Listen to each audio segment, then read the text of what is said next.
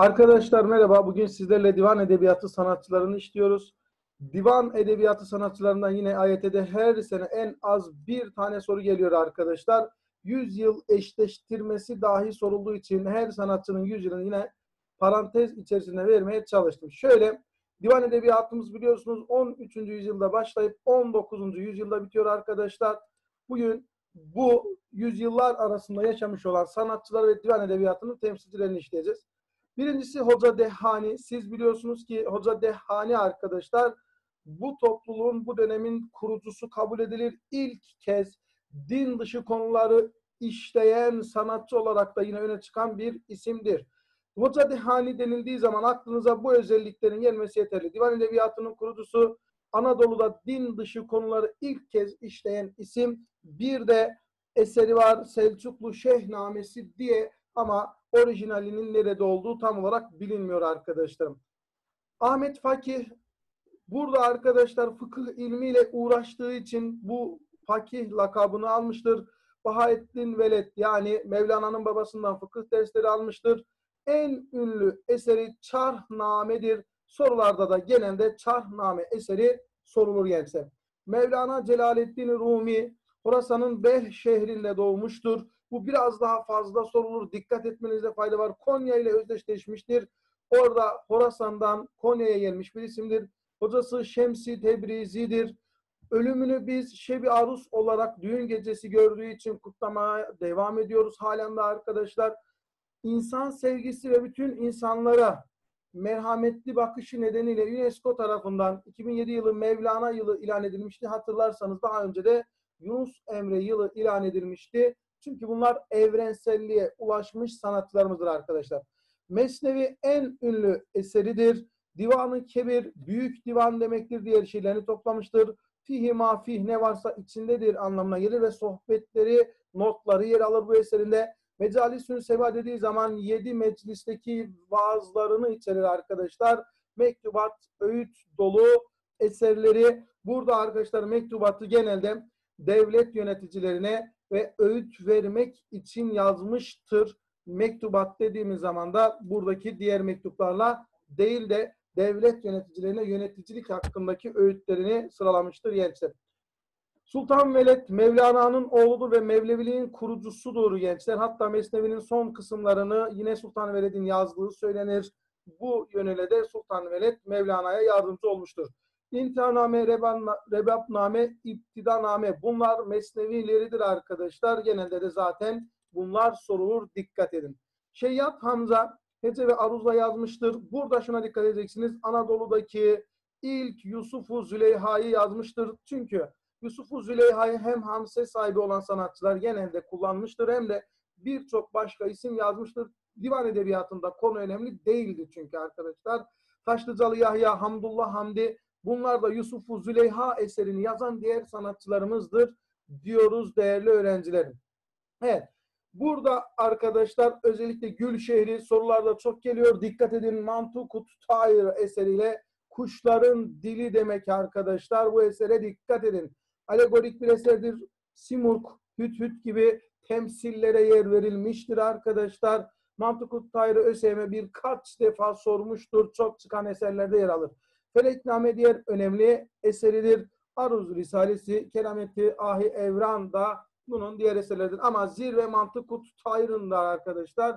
Unutmayın bunu kesinlikle ezberleyin.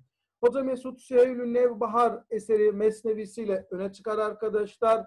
Ferhengname-i Sadi diğer eseridir. eseridir. Kul Mesut Kelile ve Dimle eserini edebiyatımıza ilk kez çevirmiştir Beydeba'nın Hint arkadaşlar fabul örneği hatta masal örneği kabul edilen eserini dilimize ilk çeviren kişidir.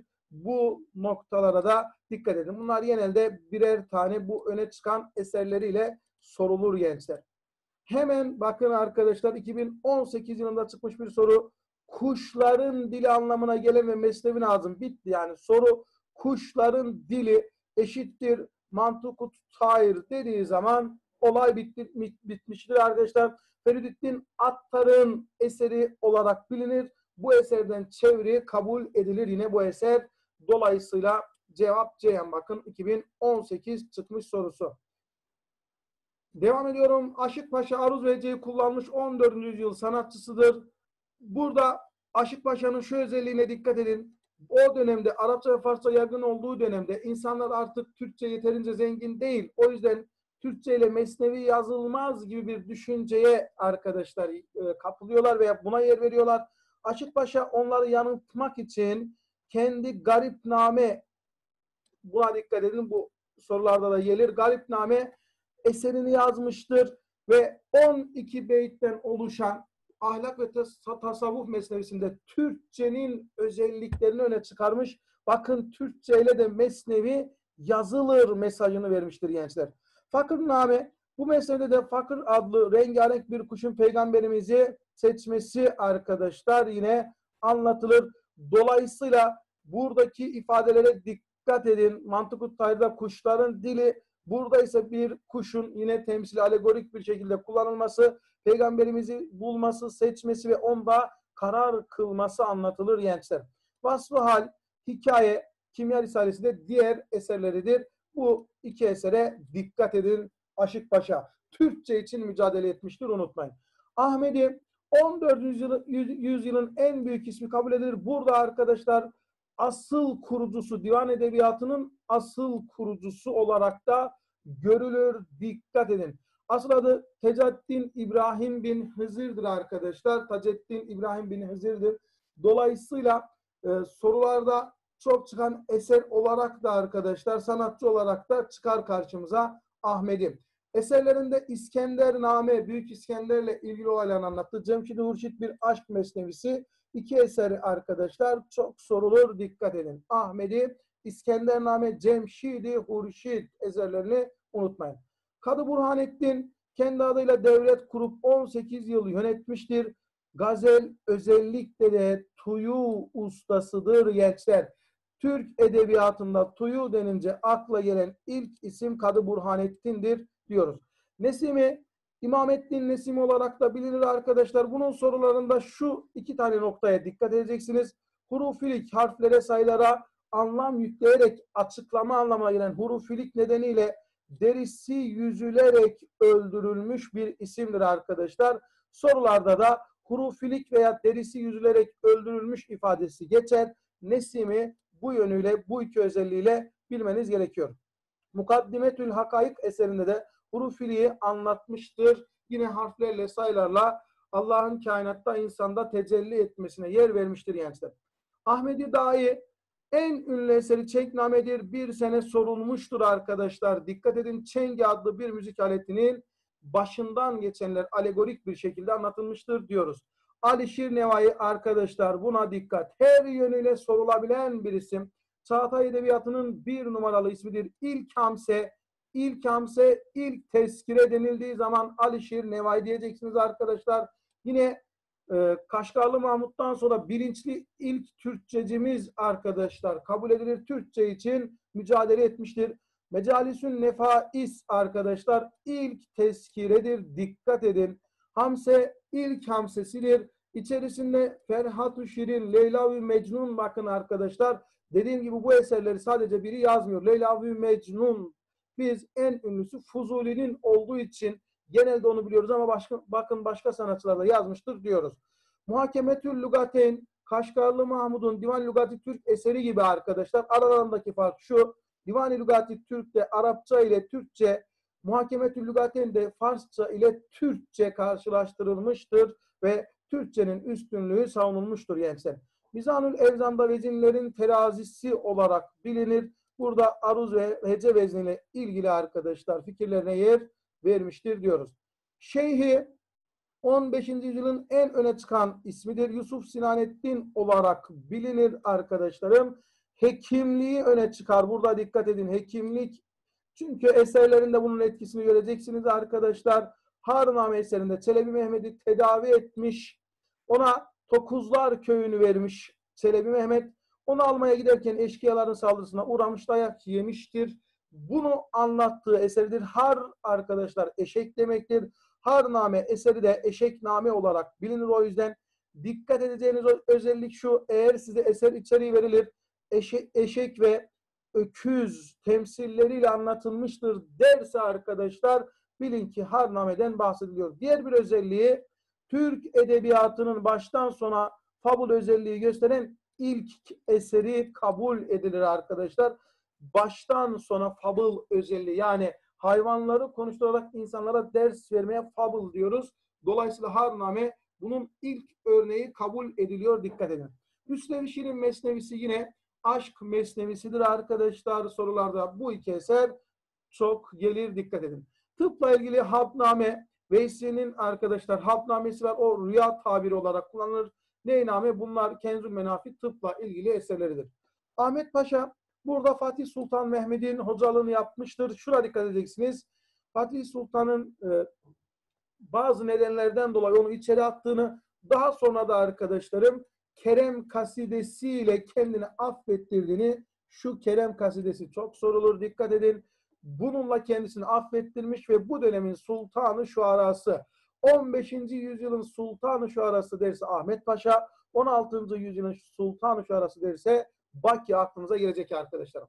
Süleyman Çelebi biz bunu bir eseriyle biliyoruz. Vesiletün Necat, Kurtuluş Vesilesi veya günümüzde Mevlit olarak okunan eser arkadaşlar. Peygamberimizin doğumu ve peygamberimize övgülerin yer aldığı bir eserdir. Bursa Ulu Cami'de imamlık yapmıştır diyoruz.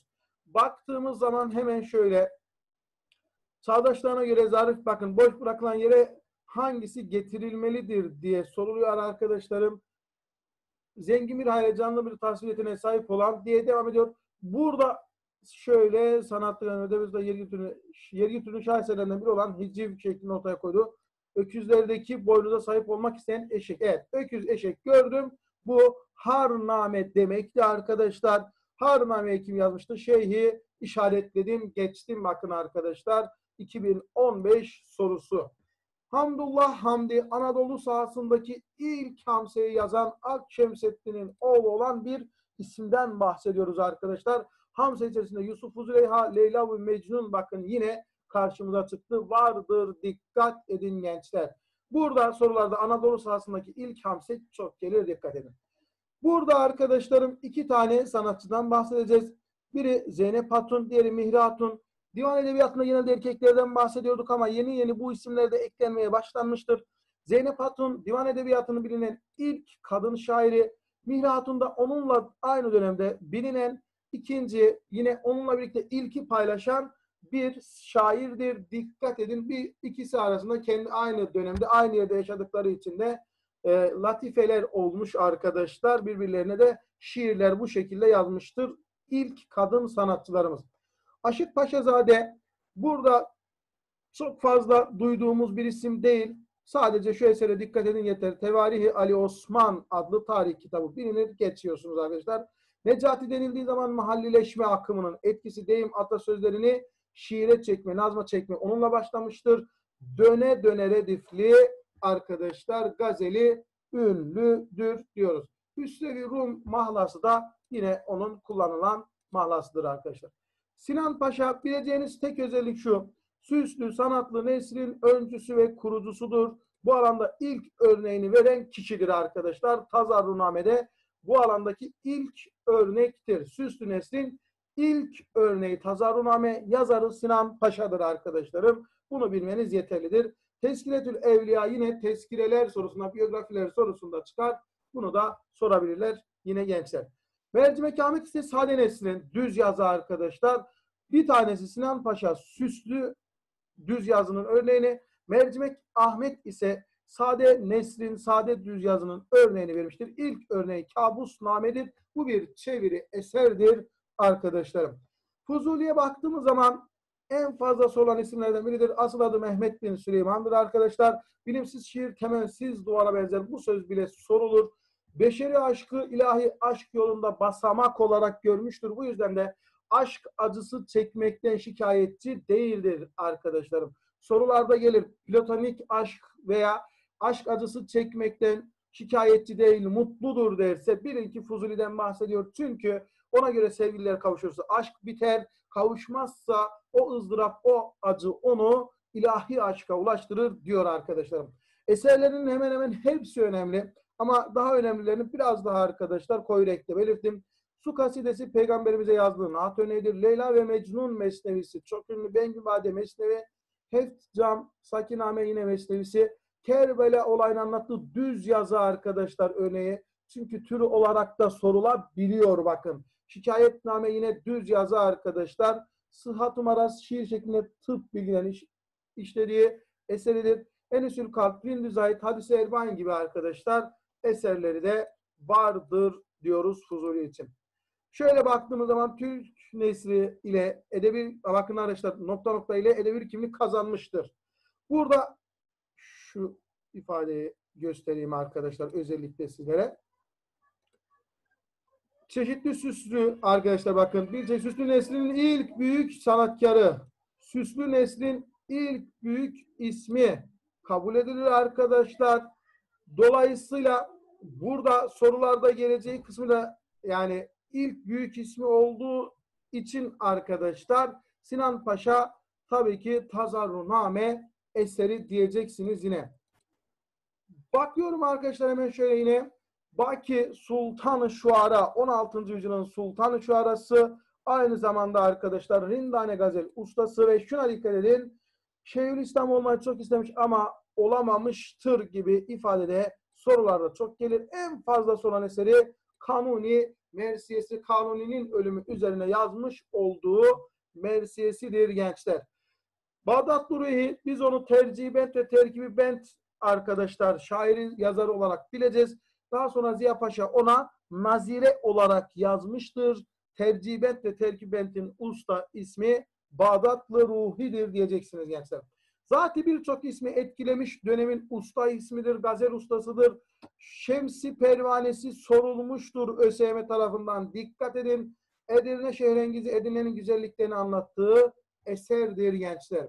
Hayali Hayali Bey Divanı dışında başka bir eseri yoktur. Baki'nin ünlenmesine kadar dönemin en önemli ismidir deyip geçiyoruz. Sey Bey, Anadolu'daki ilk teskile kabul edilen Heşt ve Heşt 8 cenneti anlatmıştır. Yaklaşık 245 şair ve eser hakkında bilgi vardır gençler bu eserde. Seydi Ali Reis dediği zaman bize özellikle Hint seferinde yazdığı Milatül Memalik ülkelerin aynası anlamına gelen ilk arkadaşlar gezi yazısı örneği sorulur. Buna da bu yönüyle dikkat edin. Güvahi Yavuz Sultan adına, adına derlediği atasözleri kitabı Kenzül Bedai ünlüdür. Yine Pendname Nasihat kitabı arkadaşlar ünlüdür.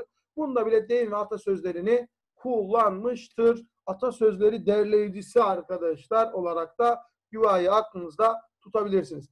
Piri Reis zaten siz onu Piri Reis haritasıyla biliyorsunuz arkadaşlar. Bizde ise coğrafya kitabı ve atlası kitabı Bahriye birazcık daha öne çıkar eser olduğu için arkadaşlarım. Taşlıcalı Yahya burada asker kökenli olması, Yeniçeri olması ve asıl noktaya geliyorum. Hamse sahibidir.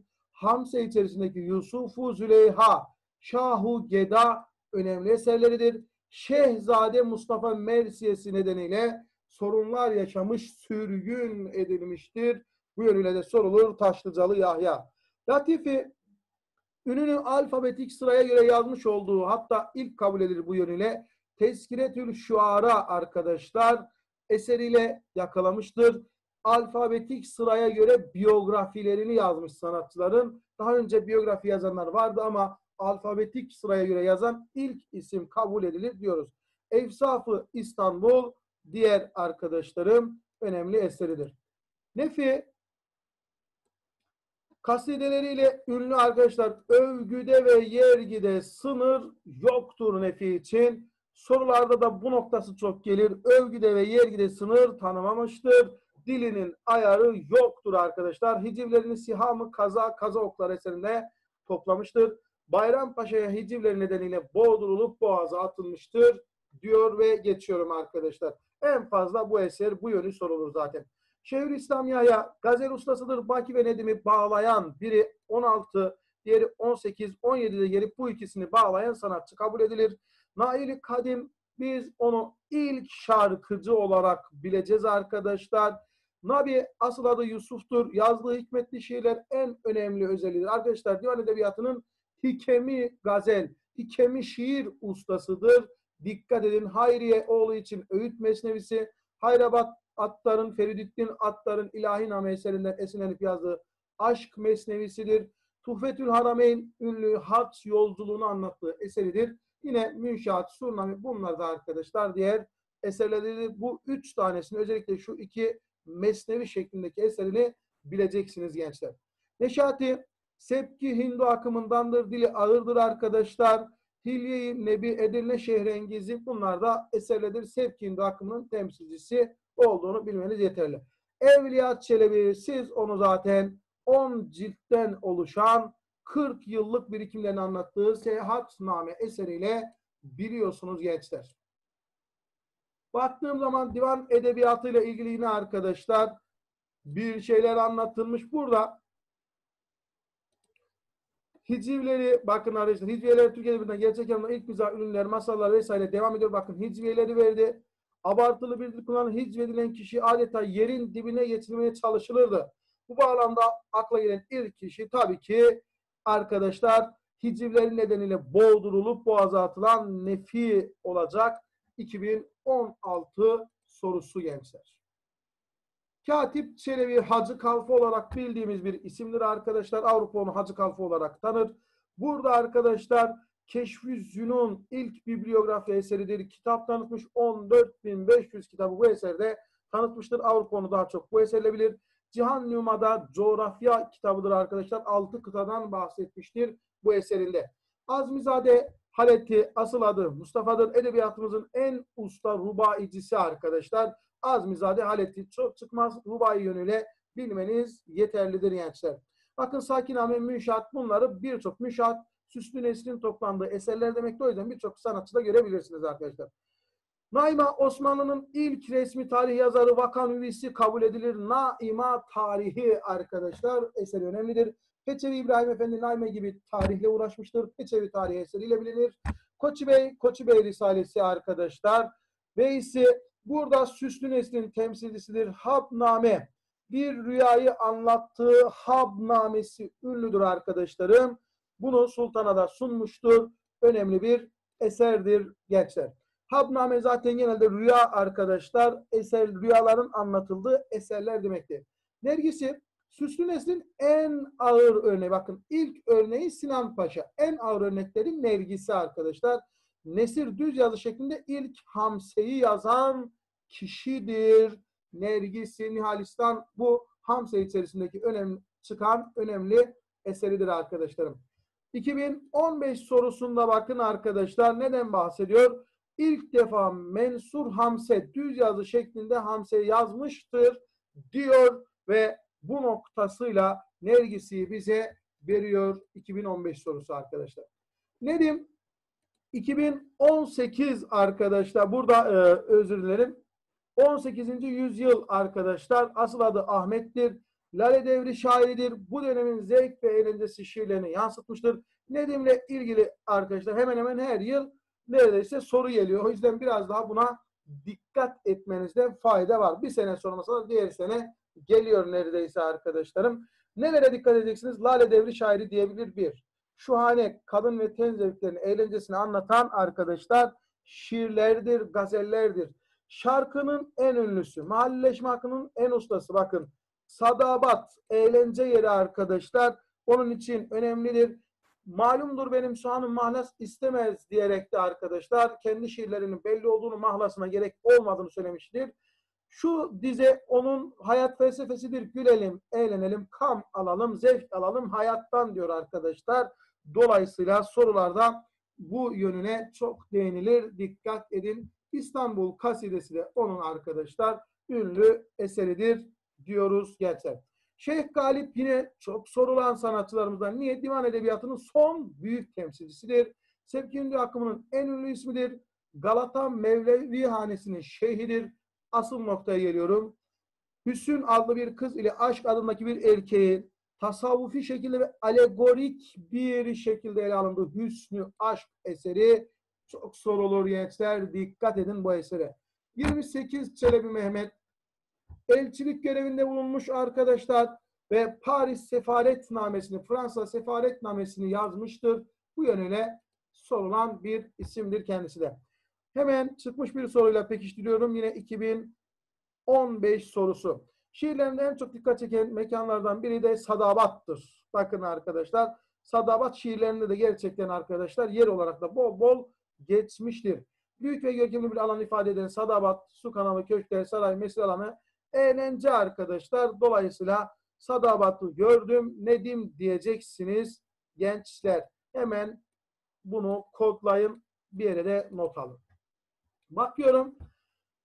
18. yüzyılda yaşamış klasik Türk Edebiyatı şairidir. Sevki Hindu'nun önemli temsilciler arasında gösterilir. Genç yaşta divan sahibi olmuştur. Divan şiiri geleneğinin son büyük temsilcisi. Bitti arkadaşlar bakın. Adam daha bize ne versin? 2018 sorusu arkadaşlarım.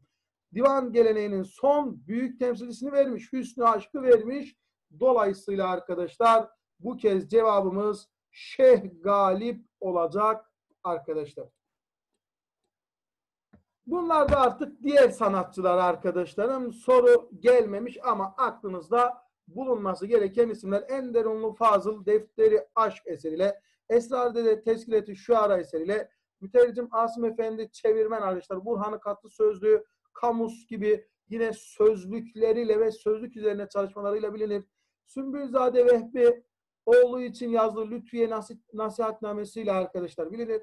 Giritli Aziz Efendi Muhayyelat Türk Edebiyatı'nda e, hikayeye geçişte arkadaşlar mihenk taşı kabul edilir. O yüzden yine buna da dikkat edin. Muhayyelet adlı esere. Keçecizade İzzet Molla'nın Mihneti Keşan ve e, Gülşeni Aşk arkadaşlar eserleri önemlidir. Ender Unlu Vasıf da malileşme akımının temsilcisi olduğunu yine şarkı biçimini en çok kullanan kişi oldu. Bakın ilk şarkıcımız Naili Kadim. En ünlüsü Nedim, en fazla şarkı yazan Ender Unlu Vasıf. İşte bunlar ipuçları arkadaşlar. Akif Paşa Adem Kasidesi Tapsıra eserleri ünlüdür. Tapsıra'yı biraz daha sorarlar, fazla sorarlar. Dikkat edin. Yeni şehirli Avni, Mirat Ucu'nun Abname gibi arkadaşlar. Ateşgede gibi. Bu Ateşgede'de de yine Hüsnü Aşk'ın etkisi görülür arkadaşlarım. Bu 19. yüzyılın sanatçısıyla da divan edebiyatımızı bitirmiş oluyoruz. Başka bir dersimizde görüşmek üzere arkadaşlar. Kendinize iyi bakınız.